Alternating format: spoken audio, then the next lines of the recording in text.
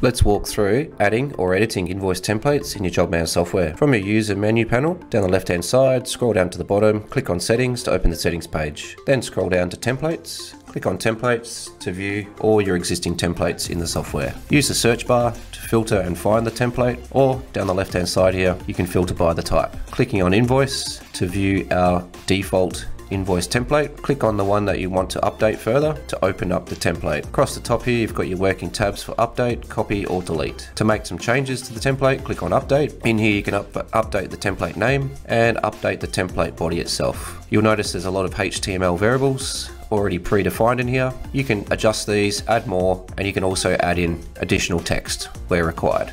In this example here, I'm going to show you adding in an additional sentence. you can see here I've put a sentence break with the HTML variables in, in front and behind. When I click on preview, you can see where I've added this new sentence, separate to the others, update or save the changes, click on save, and the template's been updated. If you want to make up some more invoice templates, the easiest way to do it is to copy an existing one, click on copy to copy the invoice template. You can see the name now is invoice to copy.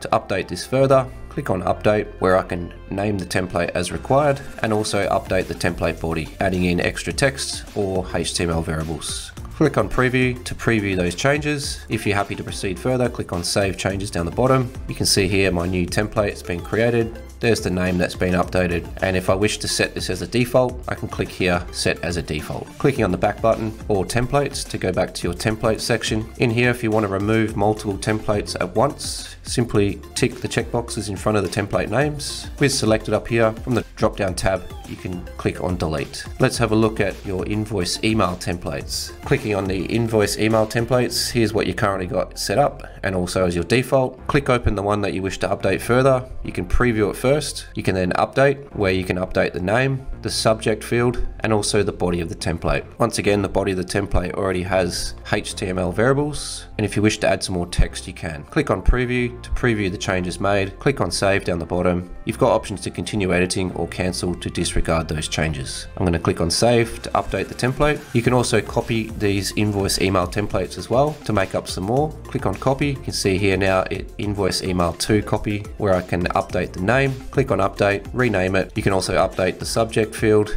and also the body of the template as you require. Once the changes have been made, click on preview. You can now view those changes. If you're happy to proceed further, scroll down to the bottom and you can click on save Continue editing or cancel to disregard. Click on save, the template has been updated. There's the new name. Clicking on back or templates to go back to the template area. If you want to create a new one from scratch, click on create, put in the name that you require and then select the type. For this one here, I'm going to select invoice email and then hit create. Template has been created. Here's how it previews. Clicking on update to make any necessary changes and then preview to review those changes that have been made. Click on save to update the template and then in here I have the ability to set this as a default. Click on set as default and this becomes your default invoice email template. Clicking on the back button, going back to templates, this shows you how easy it is to add and edit your invoice templates. Are you still requiring further assistance on this topic or any other topic in JobMan software?